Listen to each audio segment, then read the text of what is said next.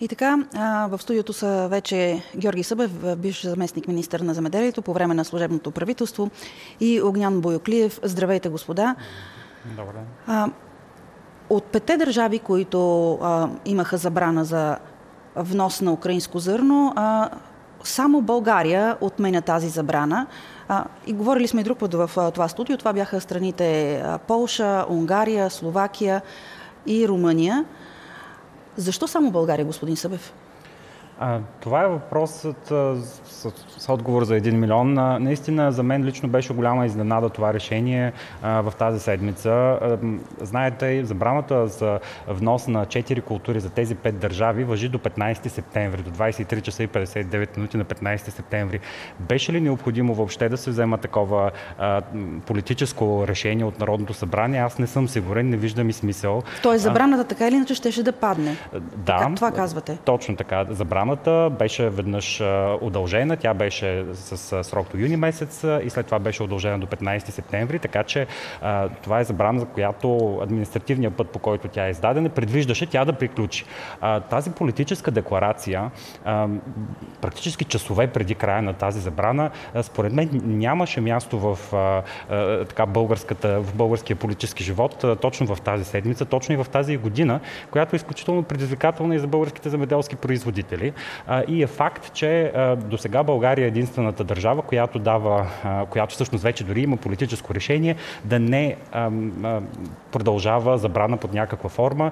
Полша и Унгария са с твърди позиции по въпроса. Словакия и Румъния така все още обмислят, но също се вслушват много силно в гласовете на своите фермери, които заплашват да блокират границата с Украина. Това са всички тези четири държави, всъщност имат физически граници а, с Украина. А, тази, това политическо решение у нас а, наистина а, постави земеделския сектор а, и всички нас, които следим ситуацията в недоумение, защото наистина според мен нямаше необходимост на този етап, а, а, що се касае сектор а, земеделие.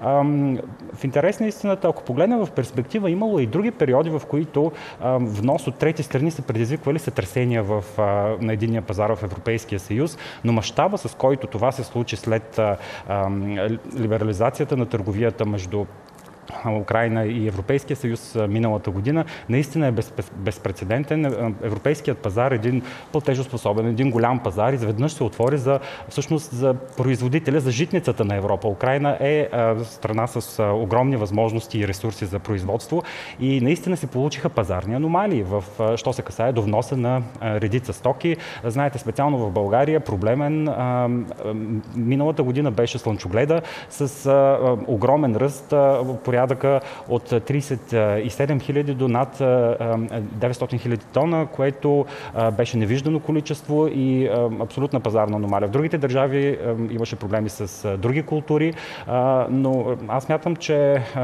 имаше необходимост от такава забрана и в интерес на истината, ако погледнем дори от потребителска гледна точка, имаше и смисъл от това.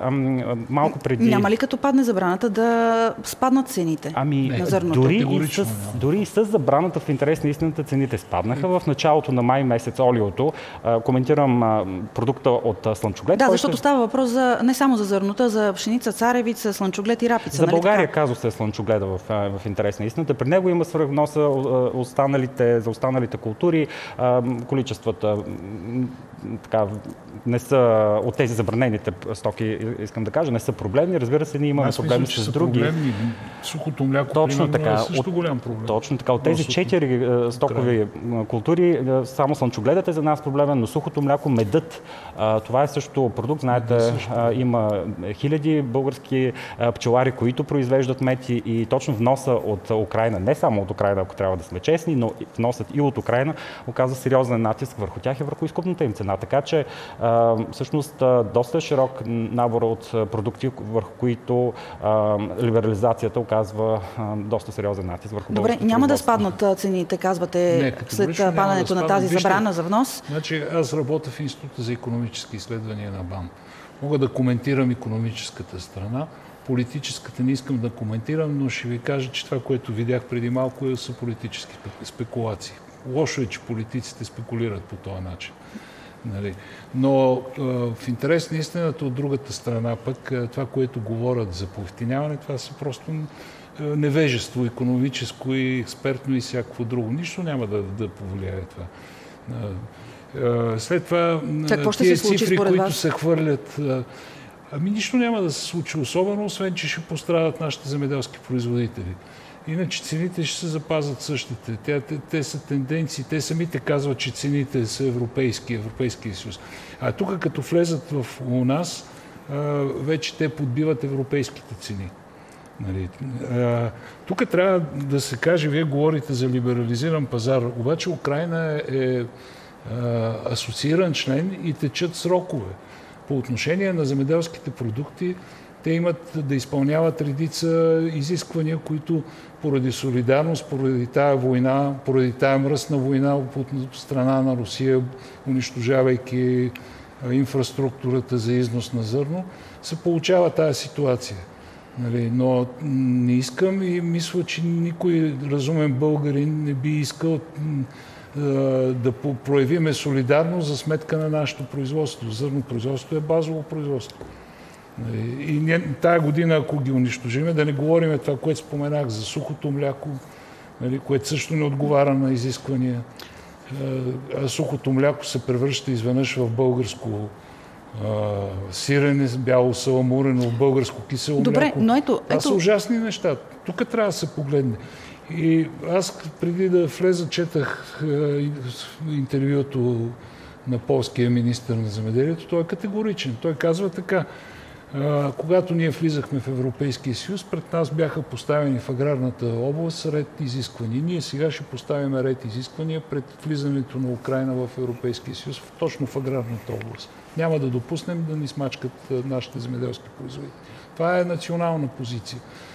Полша не мога да обвиняваме в русофоб, в русофилия, по-скоро в русофобство. Точно обратно. Точно обратно. Те исторически са обременени. Мои приятели поляци, като дойдат тук и викат как може Скобелев, нали? Ми той вика, ние е избивал Бесел, ние и така нататък. Същия този Скобелев, който генерала Белия, който за нас е освободител. Така че това е политическата, пак се намесих там, добре, където не е а, моята роля. Така или иначе, забраната, а, забраната за внос а, на тези украински стоки, а, така или иначе е със срок 15 септември. Да, Тоест тя пада, така или иначе.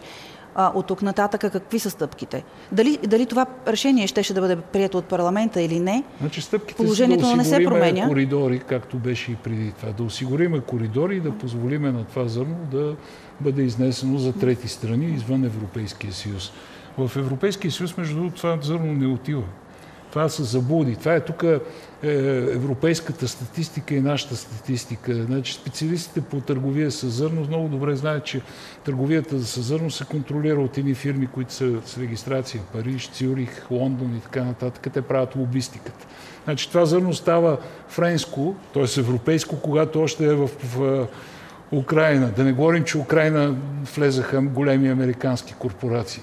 Нали? И то пак се изнася за трети страни. Добре, тук тъй като останалите четири страни а, казаха, че ако Европейската комисия не вземе решение в а, тяхна полза, те ще наложат едностранни забрани.